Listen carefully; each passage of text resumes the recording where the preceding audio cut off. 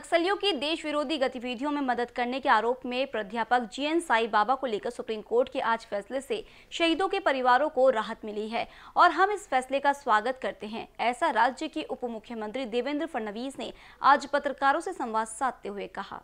आज supreme court ने Bombay high court के नागपुर बेंच के उस निर्णय को स्थगित कर दिया, सस्पेंड कर दिया जिसमें माओवादियों से संबंध रखने वाले, उनको मदद करने वाले प्रोफेसर साई बाबा को एक्विट किया गया था।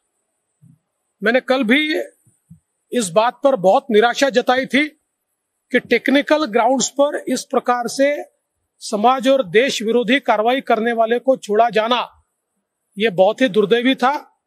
लेकिन इस बात का मुझे बहुत समाधान है कि सुप्रीम कोर्ट ने हमारी बात सुनी। आज उस हाईकोर्ट के निर्णय को सस्पेंड किया। आगे एक कानूनी लड़ाई होगी, उसमें हम सारी बातें सुप्रीम कोर्ट के सामने लाएँगे। निश्चित ही जो हमारे पुलिसकर्मी शहीद हुए, ऐसे पुलिसकर्मियों के परिवार के लोगों के लिए यह बहुत ही क्लेश कारक था कि जो लोग उनकी शहादत के लिए, मौत के लिए जिम्मेदार है ऐसे लोग टेक्निकल कारणों से छूट जाए।